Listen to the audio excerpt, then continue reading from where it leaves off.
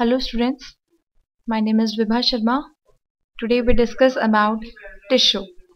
Our topic is tissue and you all know tissue is the collection of various types of cell which performs the specific function.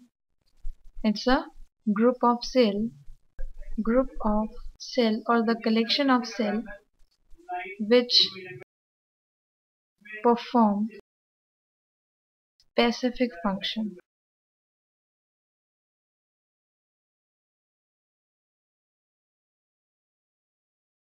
The term tissue was coined by term tissue was coined by Bichat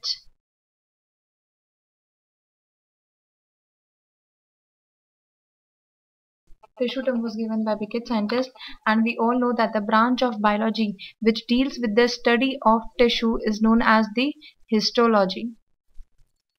Histology where this histo means histo means collection of cell that is the tissue and logy logy word comes from the word logos it means the study so a branch of science which deals with the study of tissue is known as the histology.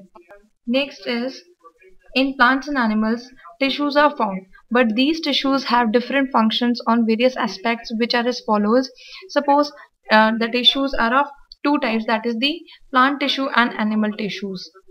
Today we discuss about the plant tissues. Plant tissue.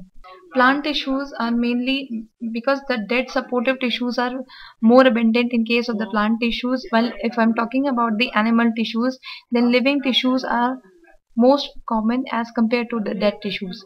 While plant tissues because they are plants are static in nature that's why they require less maintenance energy as compared to the animal tissues organizations of uh, of cells that is the collection of the cells means the tissue. Organization of tissue is very simple in plant tissues while organization is complex in animal tissues. So now if i'm talking about the plant tissue then plant tissue is of two is of two types. That is the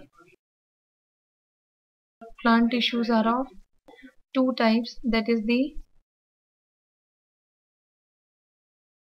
meristematic tissues and first one that is the meristematic tissues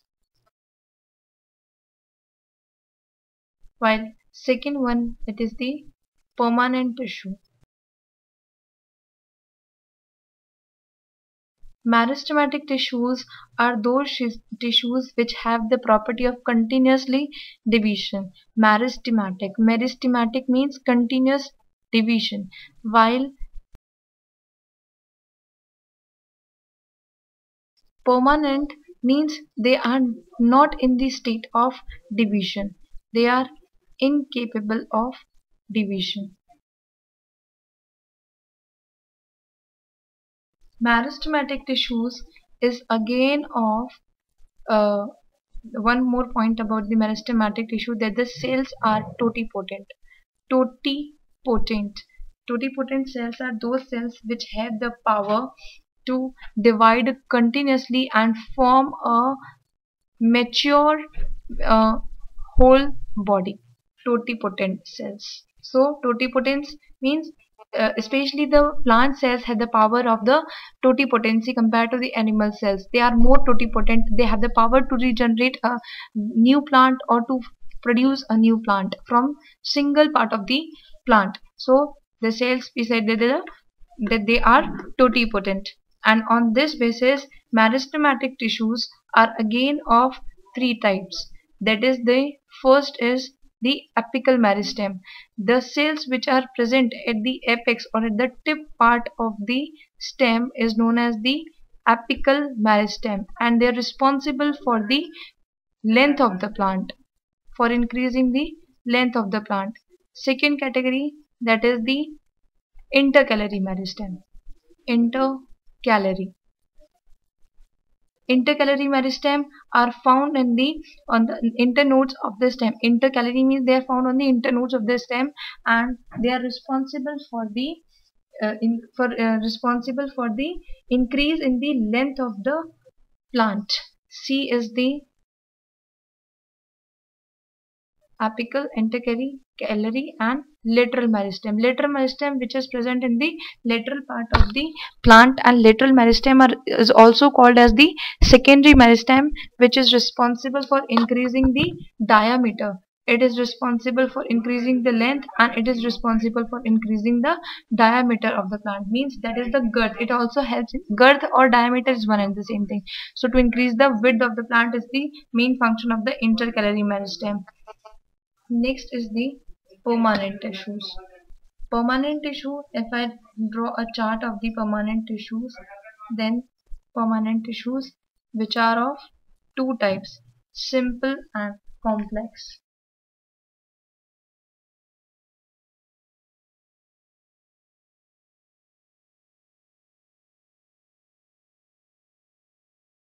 Simple means the protective or supporting tissue which are composed of single types of cell. While complex means single type of cell. While complex is the tissue composed of more than one type of cell. More than one type of cell comes in the complex category simple type of tissues is of three subtypes is of is of again of three subtypes that is the complex uh, sorry parenchyma sclerenchyma and chlorenchyma. Parenchyma are the two, those tissues which are basically responsible for the storage of the storage of the food material. In case of simple it is of rose type that is it is parenchyma. Second is the Collenchyma and third is the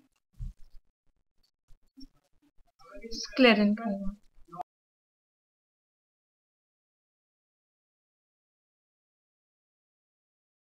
Parenchyma basically responsible for the storage. Collenchyma is basically responsible for providing uh, the flexibility to the plant. Suppose if a uh, wind current is wind current is uh, present in this uh, is comes sorry. So if the wind current comes then the flexibility due to the presence of the collenchyma it and it giving the gives the flexibility to the plant. So the plant do not damage in the case of strong air current.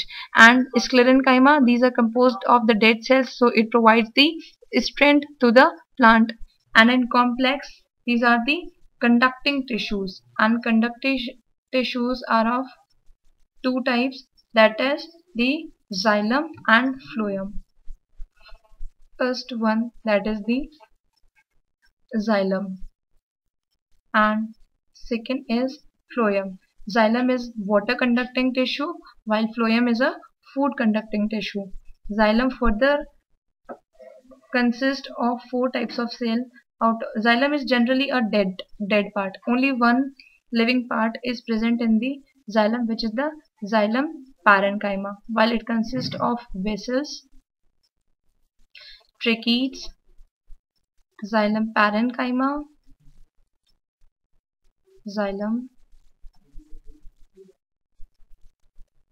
parenchyma and xylem sclerenchyma. Xylem is sclerenchyma. Only the parenchyma is the living part while most of the tissues are the dead. While if I'm talking about phloem then it is generally composed of the living part only sclerenchyma is the dead part and it is composed of sieve cells, companion cells, phloem, sclerenchyma,